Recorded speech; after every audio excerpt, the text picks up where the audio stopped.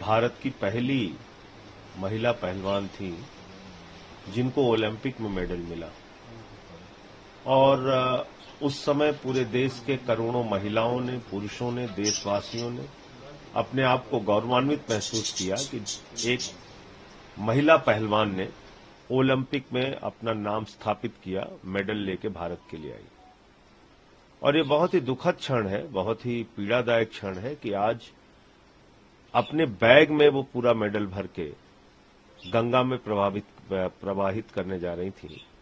उनके साथ कई और पहलवान थे, विनेश फोगाट से लेके और तमाम बजरंग पुनिया। वो सबने ये तय किया कि हमें ये मेडल गंगा में प्रवाहित करना है। वजह क्या है? वजह है कि एक लंबे संघर्ष के बाद उनको न्याय नहीं मिला। यही दिल्ली में वो लोग बैठे रहे।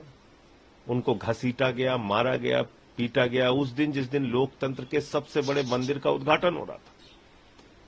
और दूसरी तरफ़ लोकतंत्र की संविधान की धज्जियाँ उड़ाई जा रही थी। मैं समझता हूँ कि प्रधानमंत्री जी को अपनी चुप्पी तोड़नी चाहिए, इन पहलवानों से बातचीत करनी चाहिए। कल नरेश टिकैत जी ने इस दिशा में अपनी ओर से जो पहल ली है, वो धन्यवाद के पात्र हैं कि कम से कम उन्होंने पहलवानों को अपना मेडल प्रवाहित करने से रोका। लेकिन जो काम सरकार का है, जो काम मोदी जी का है, जो काम प्रधानमंत्री जी का है, यही बेटियाँ जब मेडल लेके आती हैं तो सबसे पहले, पहली ट्रेन से उन लोगों को बुलवा के, पहली फ़्लाइट से उन लोगों को बुलवा के फ़ोटो खिंचाने के लिए प्रधानमंत्री जी बेताब रहते हैं। बीजेपी के नेता बेताब रहते हैं। और इतना सब कुछ हो रहा है, वो खामोश हैं, चुप हैं। तो इस बात को पूरा देश देख रहा है।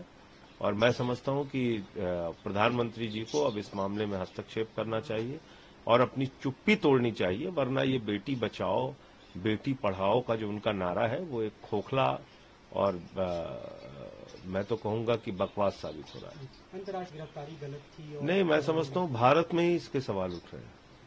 भारत के गली मोहल्ले गाँवों में इसके सवाल उठ रहे हैं।